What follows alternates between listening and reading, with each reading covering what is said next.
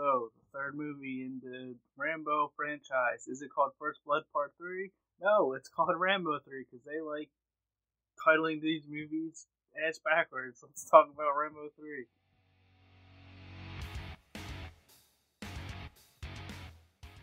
Rambo First Blood, or not Rambo First Blood, First Blood is still the best movie in the franchise so far that I've seen.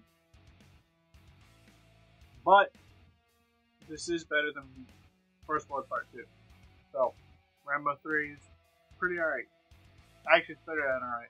But, again, like Ram, or I hate how they title these movies, but like First Blood Part 2, uh, Rambo 3 starts, starts with Rambo just trying to live his life peacefully and just, you know, like, I don't want to be part of the wars. I don't want to be part of the violence, just let me be. But, like, First Blood Part 2, something, that's what I'm going to say, something leads him to basically fight back against the Russians and I believe, Afghanistan. And Rambo goes on a one man mission to do his thing, and what he does isn't very nice. I liked it. Um, it tries to add that emotional punch that the first film had. It doesn't reset level. It has an emotional punch for sure because you connect with the side characters and you're like, I want to see these people succeed.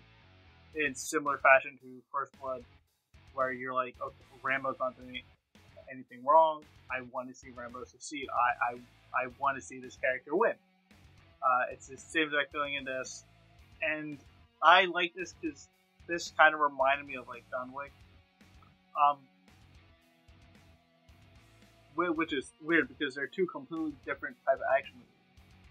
But yeah, the way the characters built up John Rambo in this reminds reminded me of how the characters in the John Wick film build up John Wick as this unstoppable killing machine, and the characters that hype up Rambo, this hype him up as like this dude is your worst nightmare come to life, and I dig that. I think it's nice character building without you know like showing everything, which is two thumbs up. They added some humor in this, which at first I kind of found off-putting because in, in, in the first two movies there's not really any humor. But then as the film progressed and you see more of John Rambo and you get a sense of actually what his personality is outside of, you know, war and this murder and killing, you're like, okay, this is more than I expected from this character. And I think it works. I think the humor aspects, it's not a lot. Don't get worried. It's not like every 10 seconds. So it only happens a few times. But to me, uh, the humor bits added to his character relations, which is always nice. And this, without a doubt, has the biggest finale so far of the three movies. First Blood still has the best because of the emotional weight behind it, but just raw, visceral action and suspense and intensity, Rambo 3 takes the cake. Um, Rambo 3's finale is just absolute explosions and gunfire and stealth ops and just all this crazy over the top action movie stuff, which fits in the 80s perfectly, awesomely fine.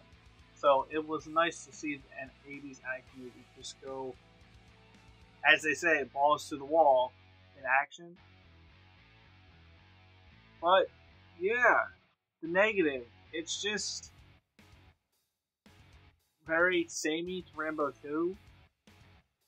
It it doesn't really do much to change up the formula from Rambo 2 out or First Blood Part 2 outside of the, the environment change and the reasoning why he's, you know, leading this one man army to stop the bad guys. And I get it.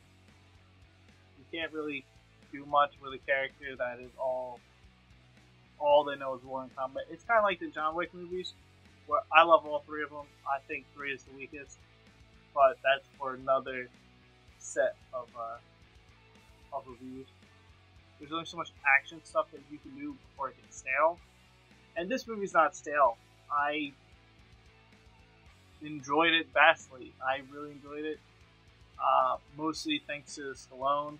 I think he's great in these movies. I think he is fantastic as John Rambo, and I really like John Rambo as a character.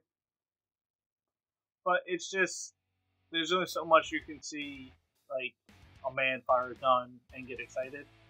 There's only so many stabbings you can see before it's just like, okay, he stabbed the guy. Ooh, ooh.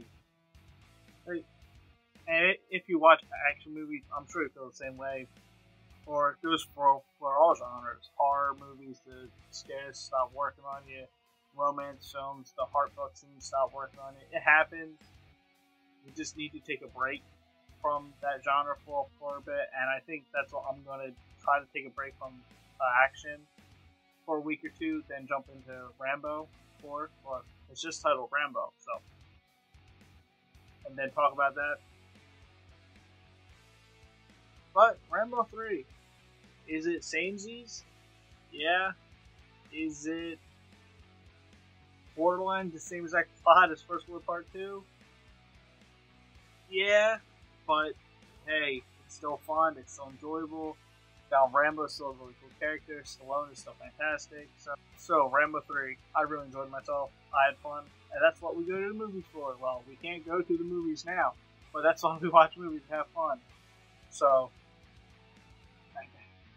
and what I'm going to review next after this is going to be a vast departure from Rambo. I'll leave it at that. But like always, feel free to like, comment, subscribe, and thanks for watching.